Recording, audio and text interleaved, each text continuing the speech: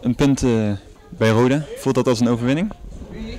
Ja, ik denk het wel. Uh, ook uh, gezien de wedstrijd krijgen zij toch de betere kansen. En we hebben het heel hard te halen afgelopen weken. Vorige week was het al wel iets degelijker. Hè? Dan verlies je hem zuur met een penalty. En deze week hou je de nul en wordt het zeker gevierd als een overwinning. Omdat we ondanks alles toch ons eerste puntjes halen. De wedstrijd was sowieso niet kwalitatief heel goed van beide kanten. Nee, zeker niet. Ik denk dat je een hele slechte wedstrijd gezien hebt. Zeker uh, ook voetballend van onze kant. Uh, het is misschien ook logisch als je vijf keer op rij verliest dat je niet uh, blaakt van het zelfvertrouwen.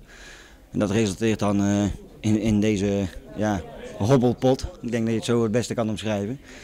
Maar ondanks dat blijven we toch hard werken en worden we nou een keer wel beloond als team. Dat we toch een keer de nul en een puntje overhouden. En hopen dat daar weer iets aan ons zelfvertrouwen kan doen. In de slotfase was het iets hangen en burgen, maar kon jij ook uitblinken?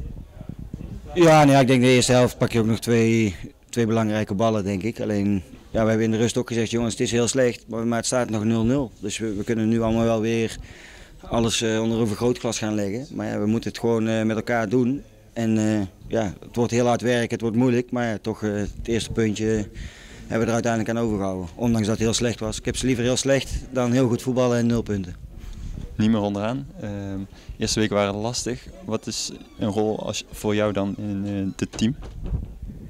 Ja, het is lastig. Kijk, eh, het is een jonge groep, weinig ervaring. Maar ja, eigenlijk zou je misschien op middenveld nog een, een, jongen met ervaring erbij moeten hebben die het een beetje op sleeptouw kan nemen.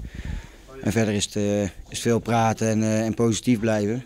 Ondanks dat het af en toe wat lastiger is dan, dan dat lijkt. Maar dit is het, hier gaan we het mee doen. En ja, zolang de groep is goed, we zijn allemaal positief, kunnen, kunnen elkaar de waarheid vertellen, maar we kunnen ook goed met elkaar overweg. Ik denk dat dat wel belangrijk is. En ondanks dat we hiervoor vijf nederlagen hadden, was de sfeer onderling is goed. En van daaruit moeten we verder bouwen en uh, van hard werken, dat is de, de, standaard. En nou hopen dat we ook nog een keer aan de bal uh, iets beter gaan worden dan vandaag. Een puntje, uh, met een drukke week voor de boeg, maar dit geeft de burger moed. Ja, nou ja, wat ik zeg, als je vijf keer op rij verliest, dan, uh, dan zakt het wel een beetje in je schoenen. Uh, en dan wordt het heel lastig op alle verhalen om alles te blijven geven. En dan denk ik dat je vandaag voor het eerste keertje beloond bent voor het heel harde werken. En dan hoop ik dat dat een klein beetje vertrouwen gaat geven. En dat we, ja, nou hebben we een drukke week, dus we kunnen lekker meteen weer aan de bak. Ja, ik ben benieuwd, we gaan het zien.